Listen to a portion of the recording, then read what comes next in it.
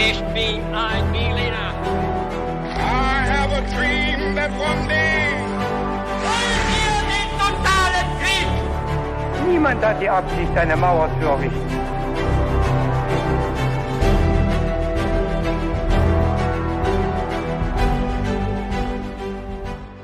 Hi und herzlich willkommen zurück zu einer weiteren Folge His to Go. Ich bin David Und ich bin Viktor. und Victor, das ist jetzt unsere 101. Folge Richtig. oder 101. Folge. Das heißt, äh, wir haben was zum Feiern und du hast uns für diesen Anlass eine Top-Geschichte mitgebracht, da bin ich mir sicher.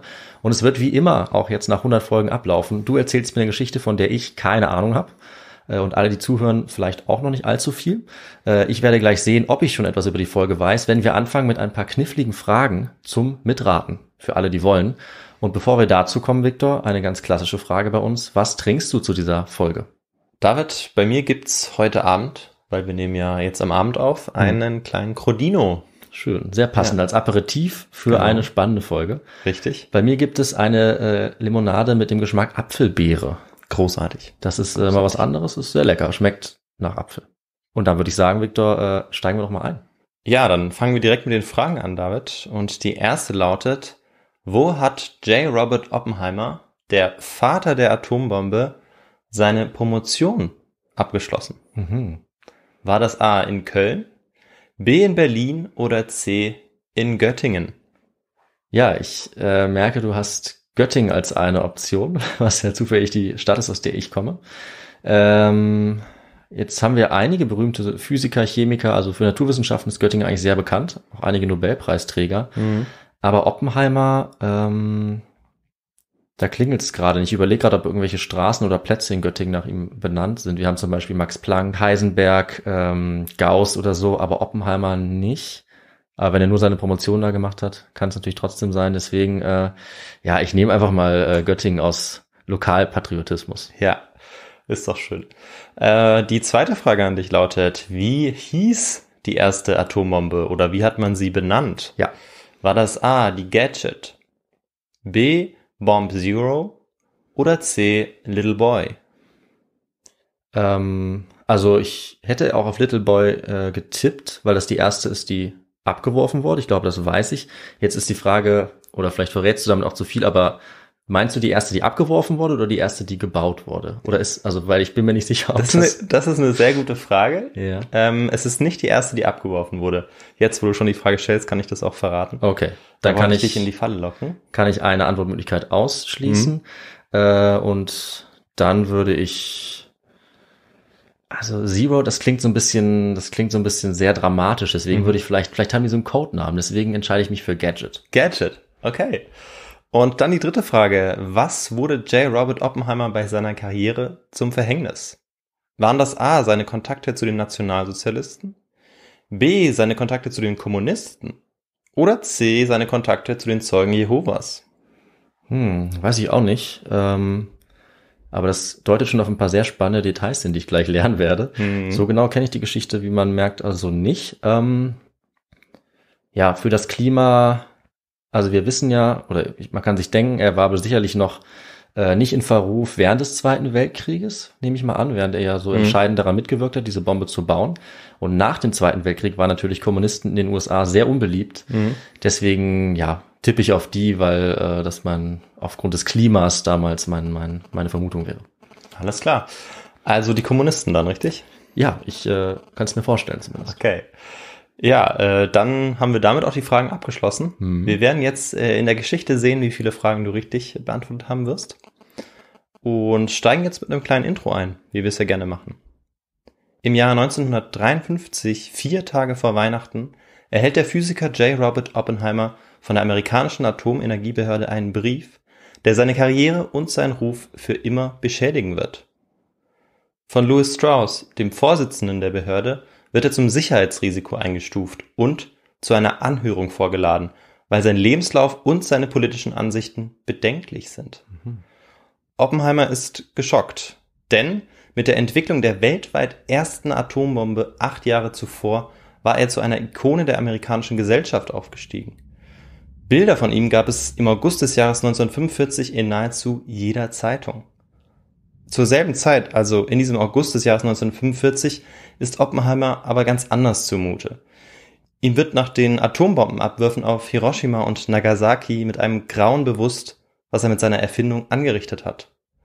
Nur wenige Monate nach den Abwürfen warnt Oppenheimer deshalb die amerikanische Regierung davor, die Verteidigung der Nation auf Atomwaffen zu stützen. Aber die Warnungen prallen einfach ab, weshalb er umgehend ein internationales Atomwaffenkontrollprogramm einrichtet, das sich gegen eine atomare Bewaffnung ausspricht. Mitten im Kalten Krieg. Das schmeckt den im Jahr 1953 eingezogenen Republikanern überhaupt nicht. Sie gelten als Verfechter einer massiven Atomaufrüstung und unternehmen schon bald den Versuch, den berühmtesten Kritiker mundtot zu machen. Bereits zu Lebzeiten wurde Oppenheimer deshalb mit dem rebellischen griechischen Halbgott Prometheus verglichen, der Zeus das Feuer gestohlen hatte. Denn wie er brachte der Physiker den Menschen mit der Atombombe eine nie gesehene Feuerkraft. Als er jedoch nach Möglichkeiten suchte, es zu beherrschen, als er versuchte, uns vor dessen fürchterlichen Gefahren zu warnen, erhoben sich die Mächtigen wie Zeus in der griechischen Mythologie, um den modernen Prometheus zu strafen. Ob und wie es zu einer Bestrafung des modernen Prometheus kommen wird, schauen wir uns jetzt in dieser Folge um den theoretischen Physiker J. Robert Oppenheimer an. Wow.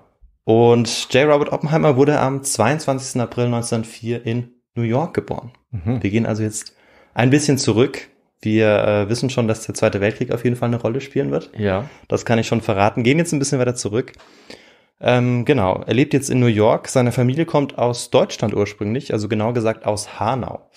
Robert äh, lebt in erster und zweiter Generation in den Vereinigten Staaten bereits. Und seine Familie, also die Oppenheimers, kennen vielleicht auch einige, ähm, gehört ursprünglich dem jüdischen Patriziergeschlecht auch an, der Oppenheimers, die ähm, auch anderweitig eben sehr bekannt waren. Aber jüdische Traditionen spielen bei Roberts Familie in New York eigentlich kaum eine Rolle. Das J vor dem Robert steht übrigens für Julius, aber sein Rufname war eigentlich immer Robert. Die Eltern von Robert waren sehr vermögend. Also sein Vater äh, hat in der Textilindustrie gearbeitet und seine Mutter war Künstlerin und ähm, hat auch schon ein Atelier besessen. Äh, als Kind lebte Robert also im Luxus. Die Sommer verbringt er meistens im Ferienhaus in Long Island oder auf einer 13 Meter langen Segelyacht. Und egal wohin er fährt, es gibt immer einen Chauffeur, der ihn sozusagen dahin bringt, wo er hin muss. Und der Familie fällt früh auf, dass der kleine Robert eine besondere Auffassungsgabe hat. Denn bereits als Fünfjähriger liest er für sein Leben gern und ähm, das fällt auch seinen Verwandten in Deutschland auf, wo er großen Eindruck auch hinterlässt. Denn eine Schulbildung hat er eigentlich noch gar nicht genossen, er ist ja noch viel zu jung dafür. Mit zwölf schreibt er dann schon Geschichten auf einer Schreibmaschine und hält Vorträge über seine Mineraliensammlung. Okay. Die sind ja diese Steinsammlungen. Seine ungewöhnlichen Hobbys führen jetzt dazu, dass er äh, ja, sich nicht äh, mit so wahnsinnig vielen Kindern anfreundet. Aber das ist ihm und auch seinen Eltern eigentlich egal, die voll hinter ihrem kleinen Genie stehen und ihn unterstützen, wo sie eigentlich nur können. Im Alter von sieben Jahren besucht Robert dann eine Privatschule, die sogenannte New York Society Ethical Culture. Für diese Schule hat soziales Engagement und humanitäre Gesinnung wirklich die wichtigste Priorität oder eben das oberste Gebot. Mit Platon und Homer im griechischen Original, Caesar, Vergil und Horaz auf Lateinisch versucht Robert jetzt seinen Wissensdurst zu stillen. Und weil er in Chemie ab der dritten Klasse völlig unterfordert ist, bekommt er direkt privaten Chemieunterricht. Und äh, auch dafür kommen extra dann auch Universitätsprofessoren, äh, um ihm da auch so. zu unterrichten. Ja, langsam merke ich, warum wir beide äh, keine genialen Physiker geworden sind. Ich glaube, den Zug haben wir verpasst. Ja, den haben wir langsam verpasst. Ähm, ja, aber sag niemals nie, sage ich immer. Nee, Wer ich würde mich gerne von dir überraschen lassen noch. Ja, mal sehen. Einer mündlichen Überlieferung zufolge soll er im Alter von neun Jahren einer seiner älteren Cousinen gesagt haben, frag mich etwas auf Latein und ich antworte dir auf Griechisch. Okay, nicht schlecht. Ja. Und mit 14 Jahren schickt ihn sein Vater dann äh, in ein Sommerlager. Und das ist eine große Freude für alle seine Gleichaltrigen. Äh, für Robert ist es aber eine Qual. Denn er hasst Sport. Und das wird ja in diesen Sommerlagern vor allem getrieben. Robert geht viel lieber einfach nur spazieren und sammelt ja seine Steine, seine Mineralien. Und da er so ungewöhnlich ist, hänseln ihn auch seine Mitschülerinnen und äh, Schüler und sperren ihn nackt in Kühlhäuser auch ein und verprügeln ihn. Hm. Für Robert ist es also wirklich die Hölle. Aber er erträgt diese Demütigung eigentlich ohne sich zu beschweren, also relativ stoisch. Und viele Weggefährten haben ihm so eine ja, stoische Persönlichkeit eigentlich dann auch später attestiert, denn er soll sehr unbeirrbar gewesen sein und auch sehr entschlossen. 1921 macht er dann seinen Abschluss und erhält dabei in jedem Fach die Bestnote. Hm. Ob in englischer Literatur, Mathematik, Physik, Griechisch, Latein, Französisch oder Deutsch. Äh, also ein wirkliches Genie, ja. ja. Und dann, ein Jahr später, geht es an die Uni. Und David, wo geht man in den USA so als Genie studieren? Was meinst du? Äh, in die Ivy League, würde ich sagen, nach äh, Princeton oder Harvard. Ja, vollkommen richtig. Äh, jetzt musste ich aber jetzt entscheiden. Natürlich Harvard. Richtig. Ja? ja. Im September 1922 geht's dann los. Aber bis zuletzt fällt es ihm schwer, sich zu entscheiden, welches Fach er eigentlich belegen soll. Ist ja nicht verwunderlich, weil er ja eigentlich überall ja. herausragend ist. Universalgenie. Ja. Aber letztendlich entscheidet er sich für seine erste große Leidenschaft und zwar Chemie. Weil, wir erinnern uns ja noch an die Mineralien und außerdem hat er auch noch, äh, als er sehr klein war, ein Mikroskop geschenkt bekommen von seinem Vater. Hm. Und ähm, das war so sein Lieblingsspielzeug, ähm, als er klein war. Nebenher studiert Robert aber natürlich noch ein paar andere Kurse, weil ähm, es soll ihm ja auch nicht langweilig werden. Ja, wow. Ja. Für viele seiner Mitstudierenden war Robert irgendwie äh, eine bizarre, aber gleichzeitig faszinierende Erscheinung. Also auch äußerliche wie innerliche Merkmale meine ich jetzt. Er war etwa 1,77 groß, hat nie mehr als 53 Kilo gewogen und das hat ihn natürlich zu einer ziemlich schlachsigen Erscheinung gemacht. Und dass er nicht ganz so viel wog, lag vielleicht auch daran, dass er sich häufig nur von Schokolade, Artischocken, Toast und Bier ernährt hat. Ähm, na, wobei, es macht jetzt ja eigentlich nicht unbedingt dünn, aber ich glaube, er hat relativ unregelmäßig und ja. selten gegessen, aber wenn dann immer äh, hauptsächlich diese vier unterschiedlichen hm. äh, Speisen. Naja, sind ein paar Vitamine dabei, äh, Zucker und kommt wahrscheinlich auch darauf an, wie oft du das isst. Wenn du es fünfmal ja. am Tag isst, wird es vielleicht eher schwierig, aber wenn das nur einmal am Tag isst, dann wiegt da nicht viel. Stimmt, ja. Oder vielleicht war auch sein Stoffwechsel sehr hoch. Das kann sein, aber das auf jeden Fall macht dieser Aspekt ihn mir jetzt doch wieder ähm, äh, sympathischer und jetzt fühle ich mich so, als könnte ich doch auch vielleicht ein Oppenheimer sein. Ja. Mit dieser Ernährung, das würde ich auch hinkriegen. Das ist, stimmt, das ist möglich, aber du machst ja eigentlich schon auch gerne äh, ausgefallenere Sachen. Das stimmt, also ich koche äh, auch gerne, aber ähm, deswegen bin ich ja vielleicht auch kein Genie. Man kann vielleicht nur entweder oder, weißt du. Ja, das kann natürlich sein, ja. Ja, sein exzentrisches Auftreten ist übrigens auch davon geprägt, dass er immer in grammatisch korrekten Sätzen und auf eine etwas überladene, höfliche und eher europäische Art geredet hat. Und das hat ihm wahrscheinlich äh, seine Mutter beigebracht.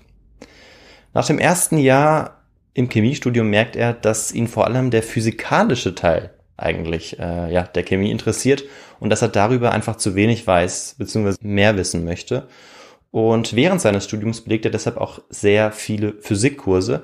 Übrigens auch, weil es dort einen begnadeten Studienleiter gibt, hm. ähm, und zwar den Nobelpreisträger Percy Bridgman.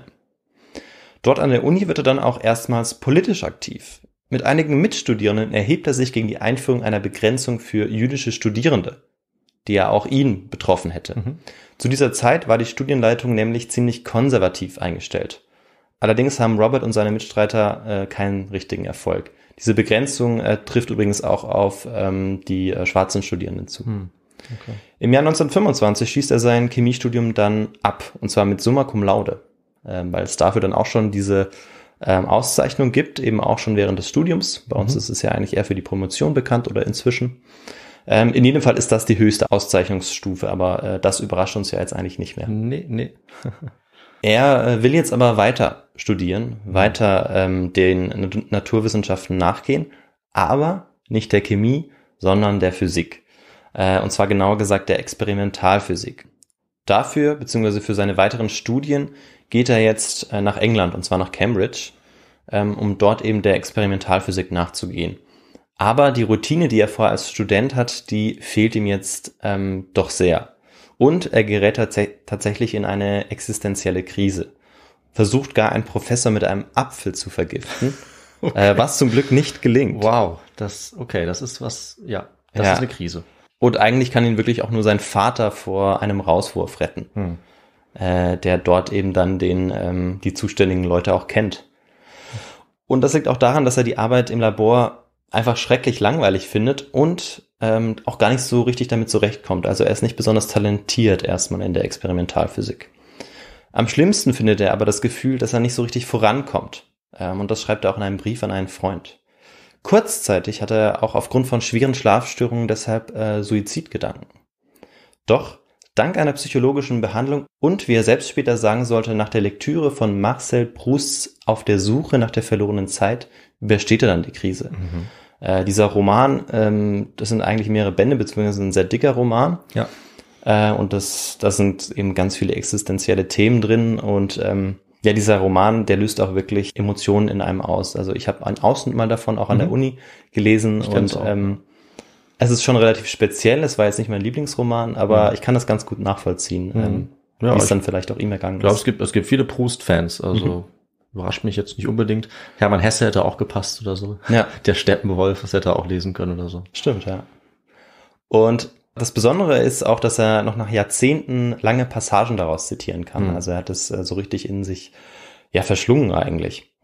Und dann, als er sich äh, selbst wieder als freundlicher und toleranter empfindet, wie er dann selber sagt, packt ihn das Interesse für ein ganz bestimmtes Gebiet der Physik. Und David, was meinst du, war dieses Gebiet? Das war die Quantenphysik. Ja, ähm, zu diesem Zeitpunkt entwickelt sich die äh, quasi erst, Oh, ups. ähm, aber die kann man eigentlich dazu zählen, beziehungsweise die Atom- und Kernphysik. okay. wenn wir es direkt ansprechen. Ähm, und die befand sich zu diesem Zeitpunkt noch innerhalb des Feldes der theoretischen Physik auch. Hm, mhm. Er erfährt jetzt, wie Elektronen sich neueren Forschungen zufolge verhalten oder von neuen Theorien über die Struktur eines Atoms und dass sich die Elektronen nicht wie Teilchen, sondern eher wie eine Welle verhalten, die um den Atomkern kreist. Neuen Erkenntnissen zufolge war ein Atom nämlich nicht starr, sondern wandelbar, was in der dann danach benannten und dem daraus entstandenen Forschungsfeld der Quantenmechanik untersucht wurde. Ah, okay. Die Aufsätze der Heisenbergs, Schrödingers, Bohrs und Teyers saugt er jetzt nur so in sich auf. Und er sagt zu diesem Zeitpunkt, beziehungsweise im Frühjahr 1926, noch verstand ich nicht viel, aber es hatte mich gepackt. Und dann im Frühjahr 1926 lernt Oppenheimer im Rahmen einer Fachreise den deutschen Physiker Max Born kennen, den Direktor der damals wichtigsten Universität für theoretische Physik überhaupt. Und zwar in Niedersachsen Hm. und der Stadt Göttingen. das ist ja ein Ding. Ja, David. Äh, und du hast die Frage richtig beantwortet. Ja. Tatsächlich weiß ich nicht, inwiefern ähm, ihm noch irgendwie nicht unbedingt gedacht wird, aber ob dann es nicht doch vielleicht noch einen Straßennamen gibt, der nach ihm benannt ist. Aber ähm, du dachtest ja, dass das nicht der Fall ist. Ich weiß es nicht. Ja, also, ähm, nee, ich muss zugeben, ich kann es natürlich nicht ausschließen, vielleicht war ich da einfach nicht, aber Oppenheimer, Platz oder Straße sagt mir nichts. Wie gesagt, wir haben eben auch viele andere bekannte Physiker und Chemiker. Äh, und es überrascht mich jetzt insofern nicht, als dass auch zum Beispiel Otto Hahn eben in Göttingen lange waren. Also äh, du hast ja schon gesagt, Heisenberg auch. Deswegen macht es wirklich Sinn, dass er da hingeht. Und Göttingen war einfach total wichtig. Ja. Vielleicht, gerade auch was äh, die Atomenergie angeht, auch die Atombombe, vielleicht kommen wir auch noch zu den Göttinger 17. Ich weiß nicht, ob das auch in deiner äh, Liste Nee, noch vorkommt. nee, das kommt nicht. Also du kannst jetzt gerne was dazu sagen. Ja, wenn wir gerade dabei sind, äh, als Göttingerin oder Göttinger kennt man wahrscheinlich die Göttinger 18. Es gibt einmal die Göttinger 7, die sind auch schon bekannt. Das ist anderes Thema. Mhm. Äh, das sind die Gebrüder Grimm unter anderem. Die Göttinger 18, das sind bekannte Chemiker, Physiker, gerade eben auf dem Gebiet der Atomenergie. Am bekanntesten sicherlich Otto Hahn. Ja. Born tatsächlich ist auch dabei und Heisenberg. Das sind die Mhm. drei größten und die sprechen sich gegen Atomwaffen aus. In den 50er Jahren allerdings. Ja. Also das ist ganz bekannt und äh, da sieht man eben auch, dass das Göttinger Wissenschaftler machen zeigt auch, wie wichtig Göttingen ist und das war damals auch ein sehr, ja, reichweitenstarker Aufruf tatsächlich, der letzten Endes natürlich nicht so erfolgreich war, aber das war eine starke Warnung aus Göttingen äh, und wahrscheinlich auch die Zeit, wo die Göttinger Uni äh, nochmal so richtig bekannt war und seitdem, ähm, ja, ist es nicht mehr so. Aber Vor allem für die Naturwissenschaften. Genau, ne, aber das ist sagen. tatsächlich zum Teil immer noch so. Ich glaube, vor ein paar Jahren hatten wir mal wieder Nobelpreisträger. Ähm, aber eine Zeit lang war Göttingen da ganz vorne mit dabei Ja. und äh, das äh, interessiert mich natürlich auch ein bisschen als Göttinger. Aber jetzt genug. Das glaube ich, Genug ja. davon. Sorry für diesen Exkurs. Nee, ist doch wunderbar.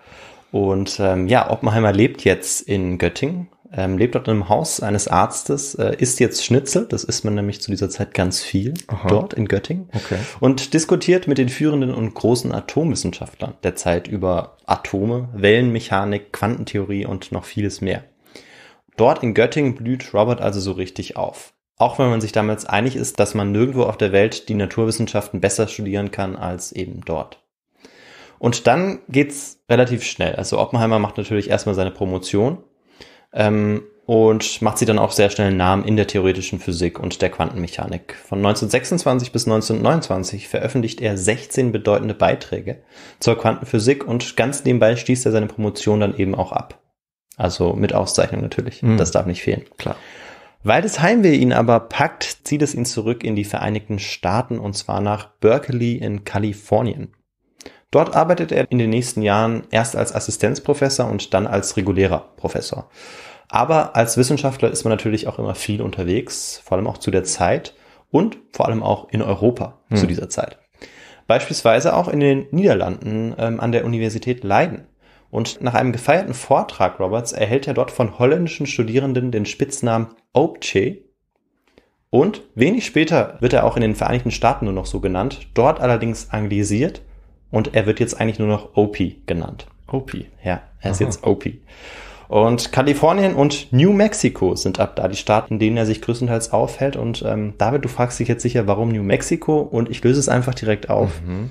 Äh, dort lebt sein Bruder, der ebenfalls Physiker war. Und ähm, dort in dieser Region und auch mit seinem Bruder konnte er immer sehr gut abschalten, ähm, indem er immer noch ein bisschen über die Physik diskutieren konnte, ähm, aber indem er eben weit weg war von dem Trubel aus den Großstädten. Ja. Ja. Bis 1934 zeigt Oppenheimer eigentlich wenig Interesse am politischen Tagesgeschehen und das, obwohl spätestens im Februar 1933 die Politik so richtig in sein Leben drängt. Und kannst du dir vorstellen, warum das möglicherweise der Februar 33 ist oder Januar 33? Ähm, also als Datum kommt man natürlich jetzt schnell auf die deutsche Geschichte. Ähm, hätte ich jetzt als Verbindung ehrlich gesagt nicht kommen sehen. Aber das Einzige, was mir da einfällt, ist ja äh, Hitlers, Ja. Hitlers Aufstieg und, und Machtübernahme. Ja. Und was für Auswirkungen äh, das auch auf andere Teile der Welt haben konnte, sehen wir jetzt auch eben daran. Ah ja. Denn im April des Jahres äh, werden alle jüdischen Professoren in Deutschland entlassen. Ah, natürlich. Und er wird jetzt aufgefordert dazu, seinen jüdischen Physikkollegen zu helfen. Hm. Ähm, wie beispielsweise seinem Doktorvater Max Born. Was er dann auch tut, indem er drei Prozent seines Jahreseinkommens spendet. Aber so richtig engagiert ist er eigentlich nicht. Später sagt er dann sogar, dass er bis zum Jahr 1936 nie wählen gegangen ist. Äh, was ihm seine Mitmenschen durchaus auch als Arroganz ausgelegt haben. Also, Mhm. dass er sich pol- politisch eigentlich nicht wirklich engagiert hat und eben auch nicht äh, zur Wahl gegangen ist. Aber diese ja, politische Indifferenz ändert sich auf einen Schlag. Und dieser Grund hat auch einen Namen und heißt Jean. Das ist eine Medizinstudentin, die er bei einer Party seiner Vermieterin kennenlernt und deren Intelligenz und Schönheit ihn umhaut. Äh, er hat dann gerne dazu gesagt, ähm, zu ihrem Aussehen auch, dass sie aussieht wie eine altirische Prinzessin. okay. Opie war also Hals über Kopf verliebt und äh, wahrscheinlich auch fasziniert von ihrer Leidenschaft zur politischen Aktivität. Denn sie war Mitglied der kommunistischen Partei. Aha. Robert verehrte Jean und äh, sie war wahrscheinlich auch der Hauptgrund, weshalb er sich jetzt an ihrer Seite der Politik zuwendet. Und ähm, ja, ich weiß nicht, ob wir die zweite Frage, was die zweite, ich weiß gar nicht mehr, schon auflösen können. Mhm, mhm. Äh, aber ähm, dass er sich jetzt eben dem Kommunismus zuwendet, das könnte äh, später vielleicht nochmal kritisch werden und da lagst du richtig. Ja. Ja. Okay. Ich dachte, die Zeugen Jehovas wären irgendwie noch so eine wilde Möglichkeit, aber äh, ja, die habe ich dazu gedichtet. Ja, vom politischen Klima in den USA, die ganze Verfolgung, äh, die CIA, da macht äh, der Antikommunismus natürlich schon sehr viel Sinn. Ja. Ja, wie du auf die Antwort dann gekommen bist, äh, also sozusagen dieser, dieser Hergang, wie du ihn angeleitet hast, der war äh, sehr schlüssig. Mhm. Ja, hat Sinn gemacht und äh, war auch die richtige Antwort. Ja, äh, danke und ich freue mich. Und jetzt plötzlich, also zu diesem Zeitpunkt, steigt dann auch seine Wut über die Behandlung der Jüdinnen und Juden in Deutschland, aber ähm, auch über die amerikanische Politik in der großen Depression ab 1929, also der äh, Wirtschaftskrise. Hm. Denn in der Folge dieser Wirtschaftskrise sind auch viele seiner Studenten ähm, arbeitslos geworden oder sie konnten keinen Job mehr finden. Und das hat ihn auch ähm, ja richtig genervt. Und deshalb wird er jetzt eben politisch auch aktiv. Und er war dabei auch kein Einzelfenomen, das muss man dazu sagen. Also äh, nach dieser großen Depression hatten viele Amerikaner ihren politischen Standpunkt überdacht und ähm, haben sich insbesondere den Demokraten angeschlossen. Also die kommunistische Partei ist eigentlich verhältnismäßig eher unterrepräsentiert ähm, gewesen, aber äh, das hindert Robert jetzt nicht daran, ähm, eben dort jetzt mitzumachen. Allerdings nie als Mitglied, Hm. äh, sage ich gleich vorneweg. Er war aber jetzt auf Schriftstellerkongressen der Kommunistischen Partei und anderen Veranstaltungen. Ähm, er hat die Kommunistische Zeitung abonniert Und ähm, das war eigentlich ähm, nicht groß anders, wie es auch andere Intellektuelle und Uniprofessoren zu dieser Zeit gemacht haben. Allerdings war Oppenheimer noch ein bisschen aktiver, ähm, was äh, die Unterstützung der kommunistischen Partei angeht. Und zwar, indem er beispielsweise auch finanziell aktiv wurde und ähm, die spanischen Kommunisten im Kampf gegen den Faschisten Franco unterstützt hat. Die haben ja an der Seite der Republikaner gegen ihn gekämpft. Mhm. Genau. In den Interbrigaden. Richtig, ja. Und dann am 24. August 1939 setzt die Sowjetunion die Welt dann in ein ungläubiges Staunen, denn ähm, sie schließt einen Nicht-Angriffspakt mit den Nazis. Und während viele Kommunisten auf der Welt diesen Moment erstmal ja eigentlich ignorieren oder nicht so recht wahrhaben wollen, ist Robert schon ziemlich überrascht. Äh, und von jetzt an unterhält er sich auch nicht mehr so gerne über Politik eigentlich mit seinen Freunden. Was er vorher eigentlich schon ähm, vor allem eben durch äh, seine große Liebe Jean gerne gemacht hat. Hm. Über den amerikanischen Kommunismus sagen zwei Historiker, dass äh, Kommunist zu sein heißt, einem engen Weltbild anzuhängen, das gegen jeden Einfluss von außen völlig abgeschirmt war. Und das würde auf Oppenheimer nicht zutreffen, beziehungsweise das hat nie zugetroffen. Denn er hat weiterhin Bücher von Ernest Hemingway und Sigmund Freud gelesen und Bücher Freuds zu lesen, das alleine wäre schon Grund genug gewesen äh, für einen Parteiausschluss ähm, aus der kommunistischen Partei. 1939 endet dann auch seine stürmische Beziehung zu Jean, obwohl sie mehrmals kurz davor waren zu heiraten. Aber Oppenheimer sollte später eine andere Frau ähm, heiraten und jetzt auch der Politik wieder so ein bisschen den Rücken zukehren. Mhm. Hätte ihm damals jemand gesagt, dass seine politische Orientierung ihm einst seinen Ruf und seine Karriere kosten sollten, dann hätte er das damals wahrscheinlich nicht für möglich gehalten. Die Begeisterung und das Interesse der Kernphysik ähm, rücken dann allerdings wieder in den Vordergrund. Vor allem als neue Theorien und physikalische Experimente darauf hindeuten, dass der Bau einer neuartigen Waffe möglich sein könnte. Welche naturwissenschaftlichen Entdeckungen dafür notwendig waren, das schauen wir uns jetzt aber erstmal genauer an. Und das schauen wir äh, uns, äh, David, in welchem Teil unserer Folge an? Natürlich im historischen Kontext, dem äh, Teil, den wir alle lieben und der auf keinen Fall fehlen darf. So ist es, ja. Die Idee, dass alle Materie aus kleinsten Teilchen, den Atomen also zusammengesetzt ist, die gibt es seit der Naturphilosophie der Antike. Ja. Aber der erste richtig wichtige Schritt hin zur technischen Entwicklung einer Atombombe ist dann die Entdeckung der Radioaktivität Ende des 19. Jahrhunderts. Denn dabei wird schnell klar, dass beim Zerfall radioaktiver Elemente gewaltige Energiemengen freigesetzt werden können. Bestimmt werden diese durch die Reaktion, die im Atomkern ablaufen. Ähm, und die Existenz solcher Atomkerne, die wurde dann 1909 bewiesen. Also vorher wusste man noch nicht, dass es so etwas Mhm. wie einen Atomkern gab oder konnte es noch nicht bestimmen. Durch die Arbeit Oppenheimers und vieler anderer Physiker, die unter anderem du auch schon genannt hast, äh, macht man in den 20er und dann schließlich 30er Jahren große Fortschritte in der Kern- bzw. Atomphysik. In dieser Zeit vermutet man dann, dass die Atomkerne wandelbar sind. Ähm, doch wie genau und was dann genau im Atomkern passiert, das wird jetzt erst entdeckt. Magst du vielleicht die Namen nochmal sagen, dass man das so mal nochmal im Kopf hat, der wichtigsten Leute? Ähm, ja, wichtig sind später auf jeden Fall noch Otto Hahn, Mhm. Ähm, zu dem ich gleich noch kommen werde. Max Born haben wir ja schon genannt. Heisenberg war wichtig. Ja. Ähm, eben auch Oppenheimer. Ähm, Thayer war später noch wichtig. Der wird nachher auch noch eine Geschichte kurz vorkommen. Ah, okay. Der wollte nämlich noch die Atombombe ein bisschen weiterentwickeln. Ähm, das sind jetzt nur einige Namen und ich habe sicherlich auch ein paar vergessen. Ja, aber es ist immer gut, sich das kurz in Erinnerung zu rufen, finde ich. Deswegen Ja. habe ich nochmal hab ich noch mal gefragt. Stimmt, ja. Genau. Und ähm, spätestens im Jahr 1932 ist jetzt klar, wie äh, was da genau im Atomkern eigentlich passiert. Denn der zweite Bestandteil des Atomkerns, das Neutron, wird entdeckt. Das andere ist übrigens das Proton. Ah, ja. Genau, das, kann man, das sind die zwei Bestandteile eines Atomkerns. Beide Bestandteile äh, halten sich zu einem bestimmten Verhältnis die Waage. Doch der Mensch wäre nicht der Mensch, wenn er nicht versuchen würde, hier in die Naturgesetze einzugreifen, um bestimmte Reaktionen hervorzurufen. Nur ein Jahr später findet dann der ungarische Physiker Leo Szilard, der auch ein wichtiger Atomphysiker war, äh, by the way, der findet dann heraus, dass der Kern gespaltet werden kann, wenn er durch weitere Neutronen beschossen wird. Mhm.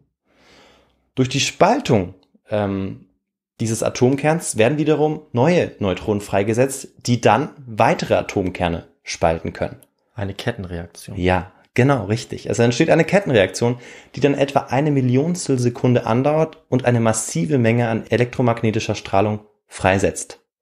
Zu diesem Zeitpunkt ist die Explosion dann auch schon im vollen Gange. Dass eine neutroneninduzierte Kernspaltung tatsächlich funktionieren kann, wurde dann 1938 mit dem leicht spaltbaren Uran 235 endgültig bewiesen. Weil es ist übrigens nicht mit jedem ähm, Atomkern möglich, sozusagen diese Reaktion hervorzurufen, beziehungsweise mit manchen ist es leichter und mit manchen schwerer und die, die eben äh, also leicht spaltbare Atomkerne sind quasi dafür besser geeignet und Uran 235 ist zum Beispiel so eins. Mhm. Plutonium wäre ein anderes. Okay, aber jetzt nicht irgendwas anderes aus dem Elementensystem. Wahrscheinlich kein Brom. Äh, ja, das ist, das ist eine gute Frage, beziehungsweise das erinnert mich daran, äh, hier nochmal an der Stelle zu sagen, dass äh, jetzt die Beschreibung, die ich gerade gegeben habe von dieser Entstehung oder von dieser Entwicklung der Atombombe, ähm, die ist von den Schritten her historisch gesehen, glaube ich, korrekt. Hm. Ja, aber ähm, wie jetzt die physikalischen Feinheiten aussehen, darüber äh, weiß ich dann leider zu wenig, Ja, so dass mir da vielleicht der ein oder andere Fehler unterlaufen sein könnte, beziehungsweise wer es einfach genauer wissen will und manchmal sich fragt, hä, was, wie kommt jetzt die Kettenreaktion so richtig zustande? Da muss man dann vielleicht einfach mal in einen Physik-Podcast reinhören Ja. oder sich anderweitig informieren. gut. Weil ich kann dir weder helfen noch kann ich dich korrigieren. Also da sind wir beide planlos. Ja. Äh, ja. Sind aber auf jeden Fall jederzeit äh, erfreut über alle möglichen Erklärungen, die es vielleicht von unseren äh, Zuhörerinnen und Zuhörern gibt dazu, Ja. die sich besser auskennen. Stimmt, stimmt, ja. Jetzt beginnt natürlich der Wettlauf um die Entwicklung der Atombombe. Hm. Und das eigentlich auch erstmal in den Vereinigten Staaten, aber wo noch, David? Äh, ja, äh, sowohl, denke ich mal, in der Sowjetunion ähm, und auch ähm, in Deutschland hat man versucht, diese Atombombe fertigzustellen und es zum Glück nicht schnell genug geschafft. Oh, jetzt hast du schon mal alles verraten. Ja, wenn du mich fragst, dann kriegst du auch eine Antwort. Nein, äh, ist in Ordnung. Also vor allem tatsächlich äh, in äh, Nazi-Deutschland, ne? Mhm. ähm, weil die Sowjets, die brauchen noch ein bisschen. Okay, also das ist, die Ja, sind noch gar ich nicht weiß. dabei. Äh, nee, Ja. die sind noch nicht so richtig dabei, ne? Weil auch die ganzen Wissenschaftler, ja, das sind ja auch vor allem Deutsche. Mhm, Allerdings stimmt. sind auch viele Jüdinnen und Juden, beziehungsweise viele Juden dabei, die äh, aber natürlich den äh, Nationalsozialisten jetzt nicht unbedingt helfen. Ja, Einstein ist beispielsweise nicht mehr da, andere eben auch nicht. Und Max Born. genau, noch weniger sind sie natürlich bereit, da mitzuhelfen. Ja. Äh, und ja, mit der Sowjetunion lag ich daneben. Also das war einfach nur ein Tipp. Ich wusste Mhm. es auch nicht. Ja. Gut, macht Sinn. Um, und in der USA war die Angst natürlich jetzt riesengroß, dass äh, ja die Nationalsozialisten in den Besitz jetzt von solchen Atombomben kommen könnten, weil Mhm. man will sich eigentlich gar nicht ausmalen, was dann passiert wäre. Und ähm, es ist ja auch nur sehr knapp letztendlich gescheitert. Mhm. Ähm, ja, und die Befürchtung war, wie gesagt, eben nicht unberechtigt, da einige führenden Köpfe der Atomphysik ja auch Deutsche waren. Ähm, aber eben einige von ihnen, wie Max Born, mussten ja emigrieren. Andere waren aber immer noch äh, dort und haben es eben probiert. In jedem Fall macht sich die amerikanische äh, Regierung unverzüglich dran, ein Projekt zur Entwicklung einer Atombombe gegen Nazi-Deutschland aufzubauen. Und das auch, weil sie von dem wahrscheinlich berühmtesten Physiker seiner Zeit äh, vor der Gewalt einer solchen Bombe gewarnt wurde. Mhm. Äh, und dass der Bau von dieser vielleicht erst den Deutschen gelingen würde. Und das war natürlich Albert Einstein. Der hat jetzt gewarnt auch. Und deshalb wird 1942 das sogenannte Manhattan-Projekt ins Leben gerufen. Mhm. Zu dessen Leitung eben kein geringer als J. Robert Oppenheimer berufen wird, der das dann als große Ehre wahrnimmt, weil da noch wahnsinnig viele Nobelpreisträger rumlaufen äh, und die äh, jetzt auch für ihn arbeiten werden. Damals ist er sich sicher, dass nur eine Atombombe Hitler aus Europa vertreiben kann. Das ist der Grund, warum er jetzt dieses Projekt angeht. Fieberhaft macht er sich jetzt dran, die Bombe zu entwickeln. Doch bevor es losgehen kann, muss noch bestimmt werden, wo das Projekt angegangen werden soll. Mhm. Oppenheimer entscheidet sich schnell für New Mexico bei äh, Los Alamos. Dort ähm, soll in der Wüste irgendwo im Nirgendwo das Labor dann aufgebaut werden. Ähm, dort, ja, in New Mexico lebt ja auch sein Bruder und dort war er auch ähm, lange Zeit seines Lebens eigentlich unterwegs. Hat dort gelebt und eben Zeit mit seinem Bruder verbracht und auch mit seiner Familie. Dort war man dann auch völlig abgeschieden von der Außenwelt, denn immerhin handelt es sich bei diesem Manhattan-Projekt auch um ein Geheimes. In Los Alamos sammelt sich jetzt die Crème de la Crème der Naturwissenschaftler. Es sind Nobelpreisträger dabei wie Niels Bohr oder Enrico Fermi, Nachwuchsstars der amerikanischen Elite-Universitäten und jüdische Physiker, die vor den Nazis aus Europa geflohen sind. Viele sind nicht unbedingt begeistert von der Idee, jetzt in die Wüste zu ziehen. Ähm, sie müssen jetzt von Oppenheimer überzeugt werden. Und er sagt ihnen, dass das jetzt eine einmalige Gelegenheit ist, Wissenschaft nutzbar zu machen und sie dem Wohle der Nation zu widmen. Das ist ähm, eine Ansage, die wahrscheinlich bereuen wird mit dieser Formulierung. Das ist gut möglich, ja. In jedem Fall arbeiten bald schon sagenhaft 150.000 Menschen an diesem Projekt. Wenn man die Fabriken mit einrechnet, wo der Atombombenstoff Uran auch angereichert wird. Gemeinsam mit seinen Kolleginnen und Kollegen stellen sie Überlegungen über die Vorrichtung an, in der die Atomspaltung stattfinden soll. Also welches Material dafür benutzt werden soll oder wie groß diese Vorrichtung überhaupt sein soll. Das sind jetzt eigentlich so die Hauptfragen, mit denen sie sich beschäftigen. Doch die Fertigstellung der Bombe, die braucht natürlich Zeit. Als das Ende langsam in Sicht ist, sind knapp drei Jahre vergangen. Es ist jetzt schon Anfang 1945. Zu diesem Zeitpunkt zickert bereits seit Monaten die Info durch, dass das deutsche Atombombenprojekt, das als Uran-Projekt bekannt ist, mit großer Sicherheit gescheitert ist. Mhm. Also man ist jetzt erleichtert. Aber ans Aufhören denkt jetzt niemand mehr. Oder nur die wenigsten. Einige, wie der ungarische Physiker Leo Szilard, waren schon vorsichtig vor den möglichen Folgen eines Kernwaffeneinsatzes und dass sie möglicherweise ein Wettrüsten in Gang setzen könnte. Der Großteil aber ist vom Ehrgeiz gepackt, ähm, ja, diese Waffe, diese technisch hochkomplexe Waffe fertigzustellen. Und der Prototyp, der gebaut wurde, den hat man tatsächlich Gadget genannt. Ja, als hätte ich es gewusst. Ich wusste es aber nicht. Ähm, aber ja, ich, äh, ich fand das andere klang einfach ein bisschen komisch. Äh, Bomb Zero. Oh, ich fand, ich Bomb habe mir was Zero. Schönes ausgedacht. Also. Doch, also auf jeden Fall auch der Trick mit was äh, Little Boy, der war gut. Ja. Da wäre ich fast drauf reingefallen. Ähm, du hättest mich ja auch. Gut, dass du gefragt hast. Ja, du hättest mich auch einfach ähm, äh, noch reinlegen können, dann hätte ich vielleicht auch darauf getippt. Aber spannend. Und Gadget ist ja, ja irgendwo auch ein passender Name. Also Ja. Für, vor allem äh, die Bezeichnung im, im Deutschen ist ja eigentlich, also Gadget, darunter verstehen wir ja eigentlich eher so, ähm, ja, einfach sowas, so ein technisches Spielzeug eigentlich. Ja, genau. Während in, in, auf Englisch, du weißt es ja besser, ist es eigentlich schon eher so ein technischerer Begriff. war es vielleicht auch damals mehr als heute, Ja. würde ich sagen, ja. Genau. Ähm, aber es klingt natürlich für uns viel zu harmlos für das, was es war. Aber das ist ja bei Little Boy auch nicht anders. Das stimmt, ja. Stimmt. Also diese Namen für die Atombomben sind äh, ja erschreckend, äh, erschreckend niedlich oder ja abwegig. Hm. Da wird mit der Sprache auf jeden Fall irgendwie versucht, das Ganze so ein bisschen äh, zu verharmlosen. Mhm. In Los Alamos in der Wüste wird aber ähm, ja, fleißig weitergearbeitet. Und das auch ähm, nachdem Hitler Selbstmord begeht am 30. April 1945. Oppenheimer will wie die anderen dieses Projekt zu Ende bringen und die Bombe fertig bauen. Über die Folgen, die das haben kann, macht er sich eigentlich in diesem Moment nicht so viel Gedanken. Er ist jetzt sozusagen in seinem, ja, ich weiß nicht, ob man das wissenschaftlichen Geist nennen kann, aber er will das jetzt einfach zu Ende bringen. Das ist für ihn ein Projekt, Hm. wie wenn man wahrscheinlich eine Masterarbeit schreibt. Äh, und will es jetzt zu Ende bringen und macht sich halt auch keine großen Gedanken, was natürlich unglaublich naiv ist. Ja, zumal du ja gesagt hast, dass Kollegen von ihm auch sogar schon ähm, das Arms Race, das Wettrüsten schon vorhergesehen haben, hätte er sich natürlich schon, wofür Ja. er sicherlich auch kritisiert Und- werden wird, mehr Gedanken machen. Genau, also noch waren es wenige, aber er hat sich auch schon mit denen unterhalten. Mhm. Äh, und ähm, als sie das gesagt haben, hat er auch gesagt, ja, die Sowjetunion, äh, wir werden schon mit denen Verträge schließen können, dass das dann nicht dazu kommt. Ah ja. Denn es sollte eigentlich so eine Art Handel abgeschlossen werden, dass es okay ist, dass man äh, auf Japan Atombomben abwirft. Mhm. Ähm, das zu denken war natürlich insgesamt sehr naiv und wir werden am Schluss auch noch mal so ein bisschen dann zur Beurteilung seiner Person kommen und das vielleicht dann auch noch mal aufgreifen. Ja. Am 16. Juli des Jahres 1945 ist es dann schließlich soweit. Die erste Atombombe auf der Welt ist bereit zum Test und der wird unter dem Codenamen Trinity durchgeführt. Um 5.49 Uhr und 45 Sekunden wird die neuartige Waffe in der Wüste von New Mexico gezündet. Die Anwesenden, darunter natürlich auch der Leiter des Projekts Oppenheimer, sehen als erstes einen Lichtblitz, dann einen Feuerball und dann eine purpurrote Wolke, die sich schwarz färbt vom radioaktiven Staub.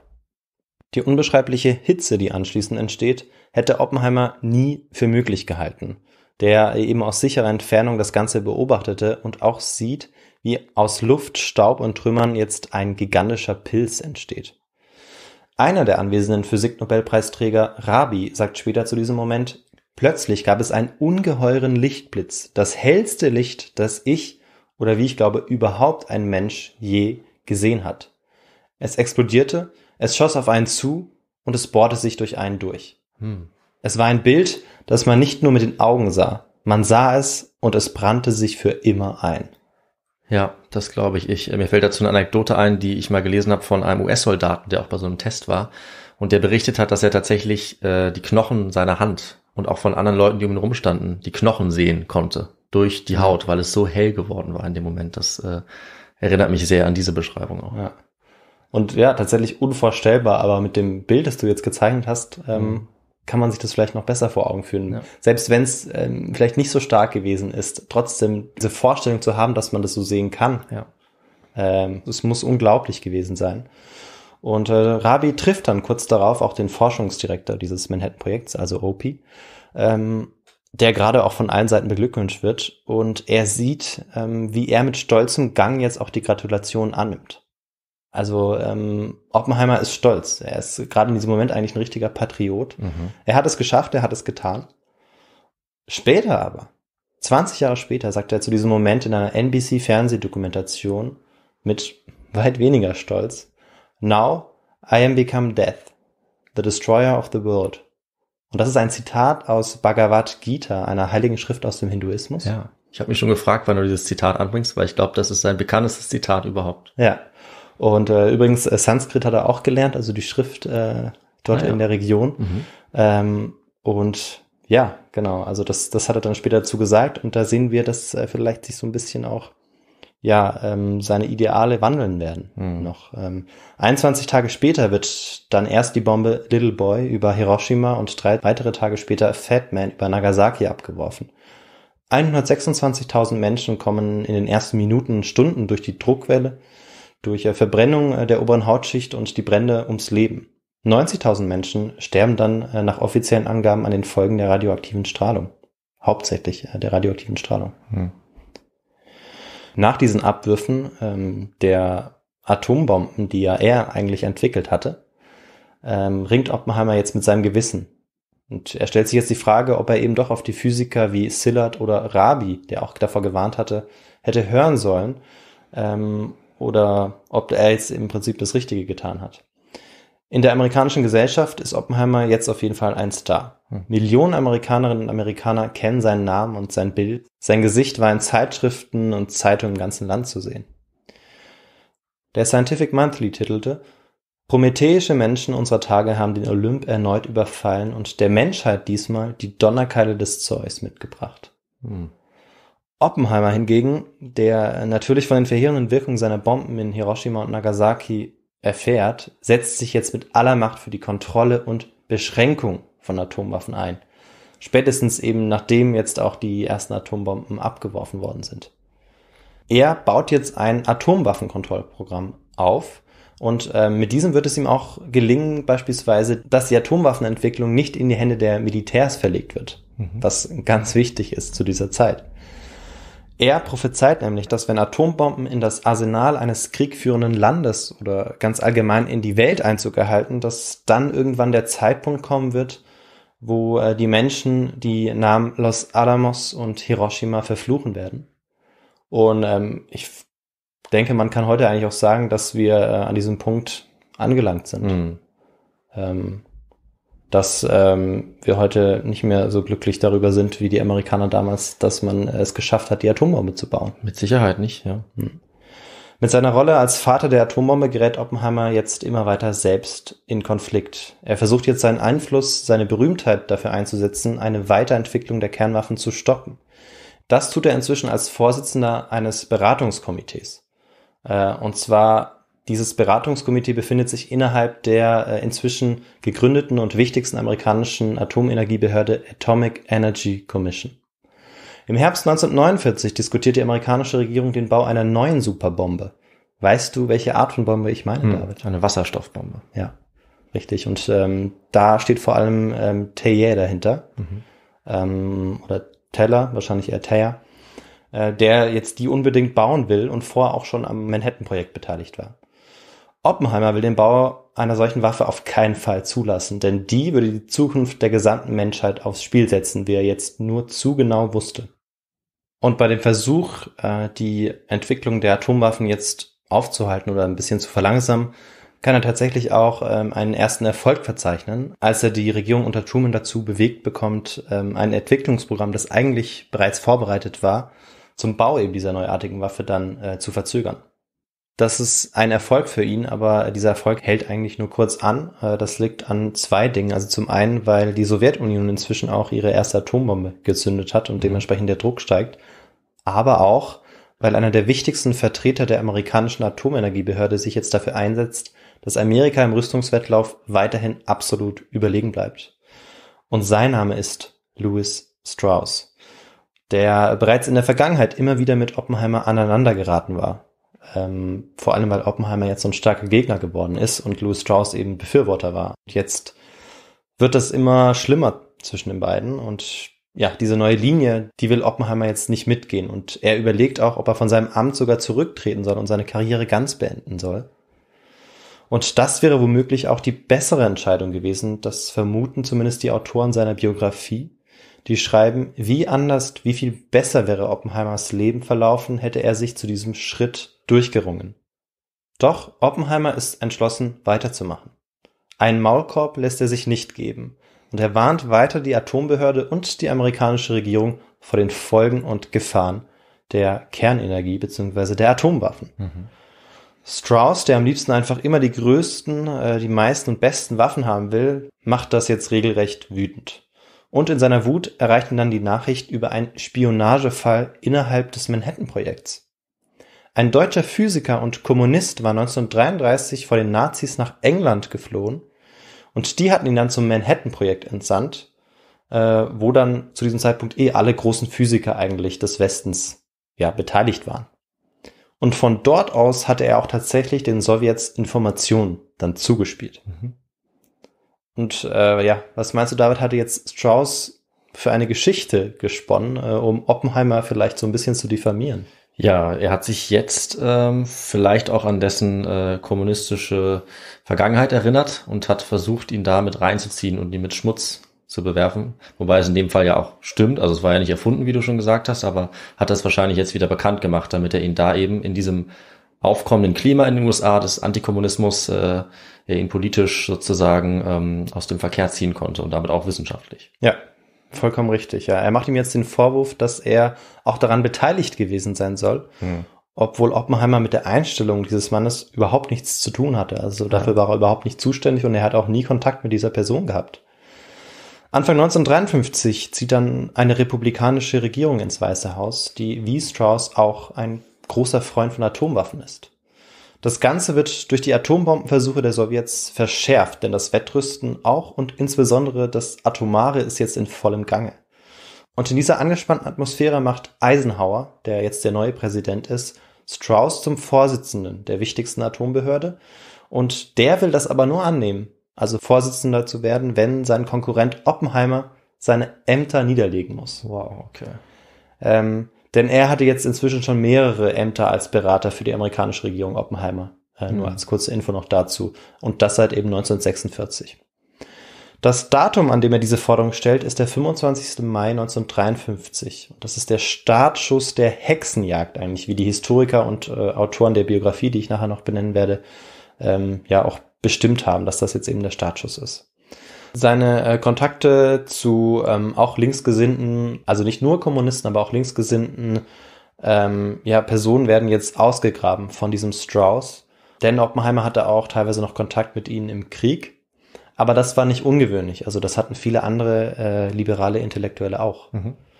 Und das war auch vorher nie ein Problem. Das wird jetzt plötzlich im Jahr 1953 ein großes Problem, weil er plötzlich einen richtigen Konkurrenten hat, der ihn wirklich nicht mag und der ihm richtig persönlich jetzt auch angeht. Strauss erstellt eine Akte über Oppenheimer, studiert seine Vergangenheit und reiht jetzt Gerüchte aneinander, wie es ihm eigentlich passt. Denn er findet eigentlich nichts Neues heraus, das jetzt irgendwie eine Anhörung oder so ähm, ja, nach sich ziehen würde. Oppenheimer gibt ein ums andere Mal wahrheitsgetreu seine Vergangenheit wieder, ohne sein Interesse für äh, die linke Politik zu verstecken. Denn Mitglied der Kommunistischen Partei war er auch nie. Strauss Bericht über Oppenheimer, ja die inzwischen tausend Seiten umfassende Akte, kommt über den Senator Joseph McCarthy schließlich im November des Jahres 1954 im Weißen Haus an. McCarthy war der selbsternannte Kommunistenjäger des Präsidenten Eisenhower und mit Strauss Bericht und dem Einfluss McCarthys wird Oppenheimer der Zugang zu jeglichen Geheimunterlagen verwehrt. Das ist schon der erste Schritt jetzt zur Demütigung, beziehungsweise der, der nächste Schritt zur Demütigung, ähm, dessen Höhepunkt sich noch im selben Jahr, vier Tage vor Weihnachten, dann abspielen wird.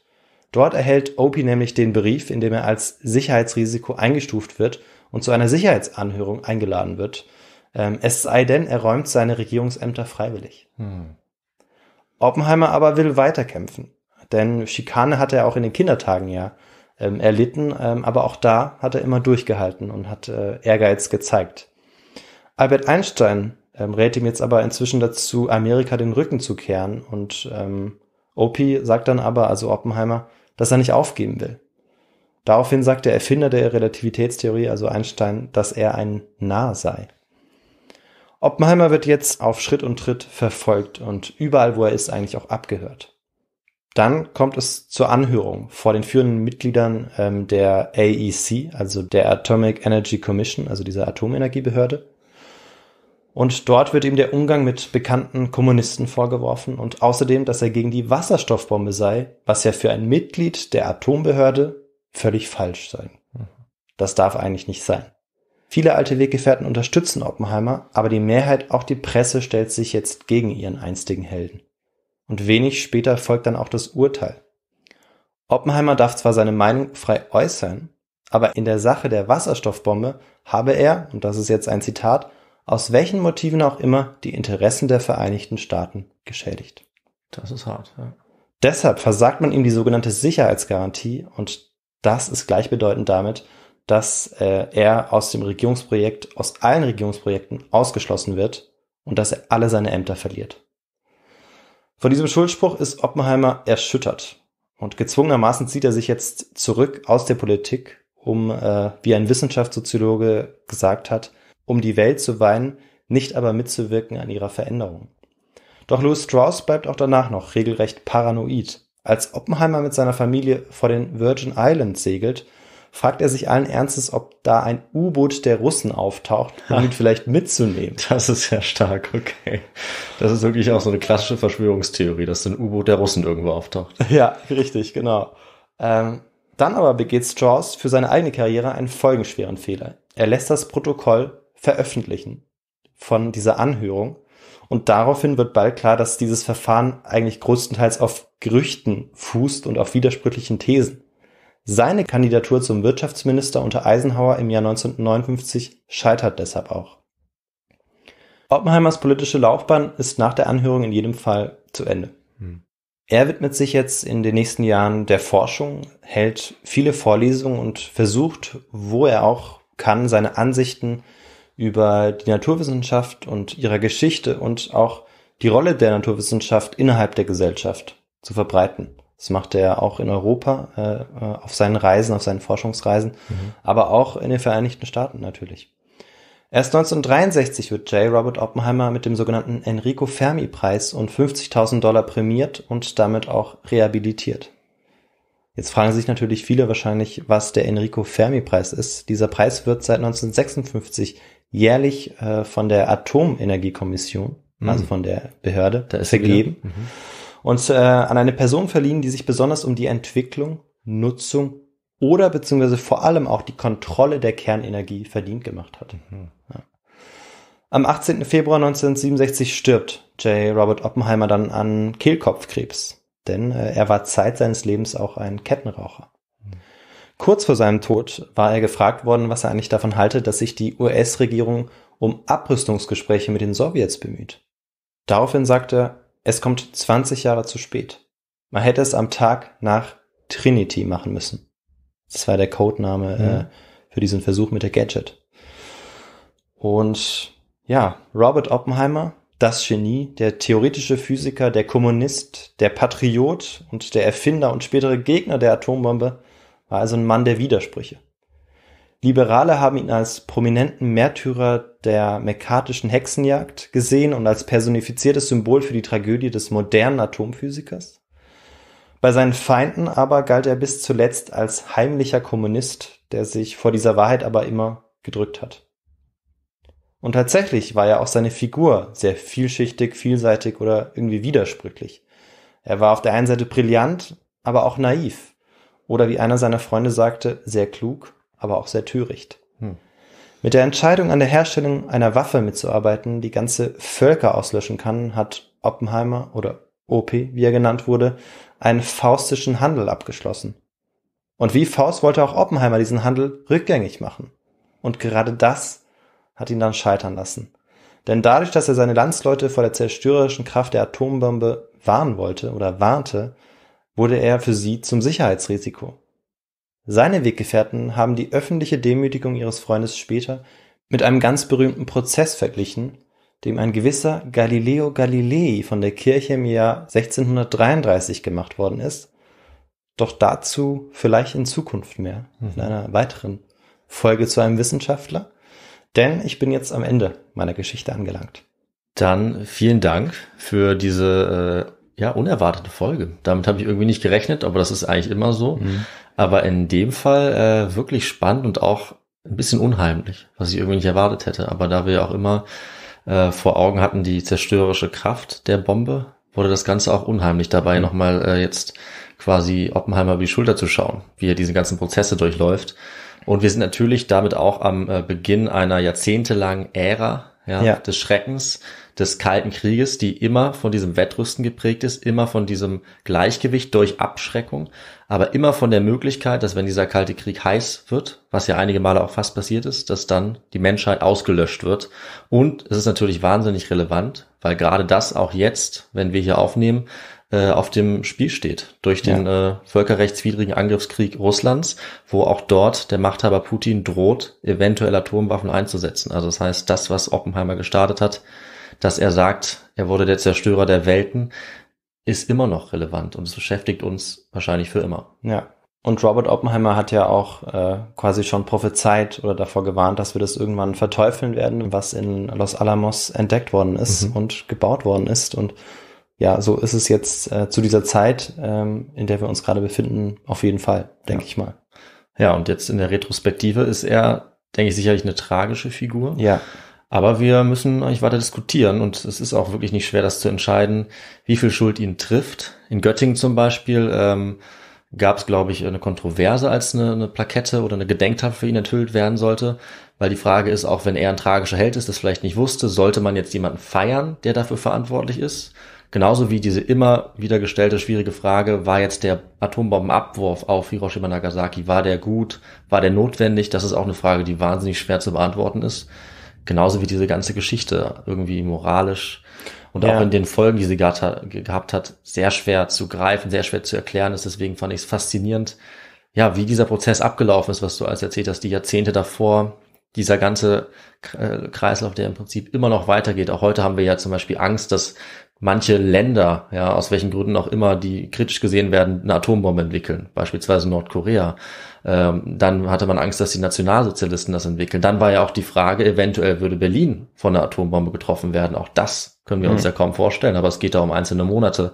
Also so viel passiert in dieser Wüste in ein paar Jahren. Das Ja. ist, äh, es vergisst man schnell, finde ich. Hatte ich auch nicht auf dem Schirm und äh, es ist wirklich erschreckend faszinierend. ja. Ja, und vor allem diese Persönlichkeit, die wir abschließend auch nicht irgendwie als positiv äh, oder als gut oder als böse irgendwie Mhm. einstufen können. Ja. ähm, weil sie so facettenreich ist, ähm, die so viel, so viele Entscheidungen eigentlich mit getroffen hat, aber ohne so genau zu wissen, was eigentlich die Konsequenzen waren.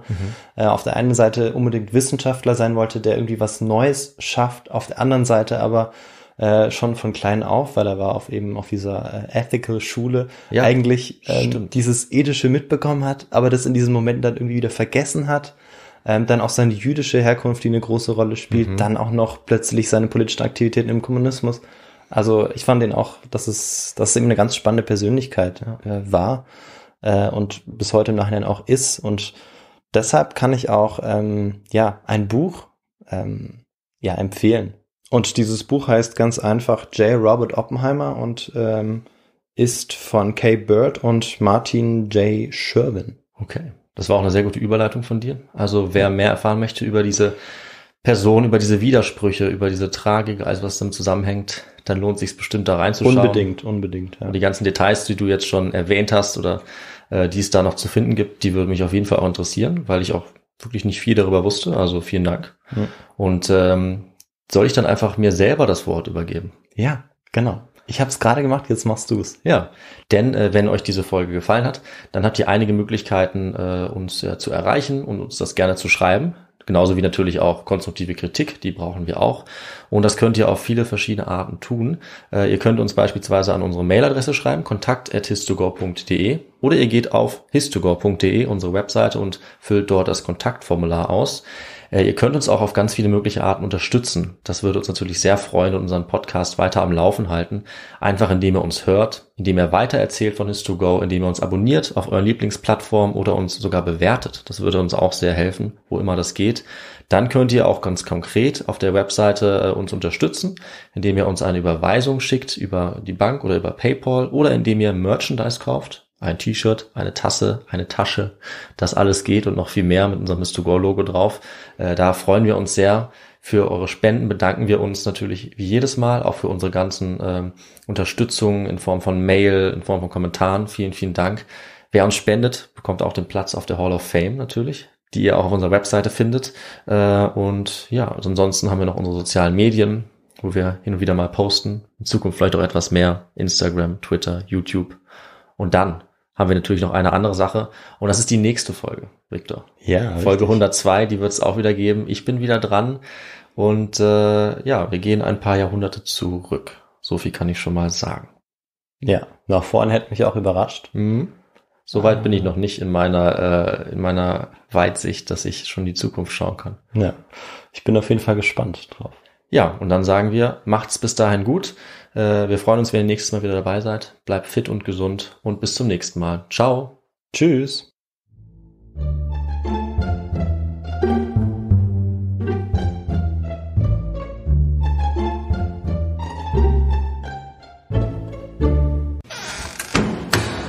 Jetzt gerne was dazu sagen. Ja, weil wenn wir gerade beim Thema äh, Göttingen sind. Ich weiß nicht, ob es Göttinger 17 war. Aber ist tatsächlich ganz interessant eigentlich. Ja, also cool. Also passt sehr cool, gut. Ja. Die muss ich auf die muss ich kennen. Die habe ich in der achten Klassen Vortrag drüber gehalten. Ich glaube 17, oder? Nee. Göttinger 18. Hä? Was? Wie cool ist das denn? okay, na gut. Du ähm. weißt schon, dass das safe ein Outtake wird. na gut, aber ich möchte darauf bestehen, dass ich es noch gemerkt habe. Ja, ja. Oh nein.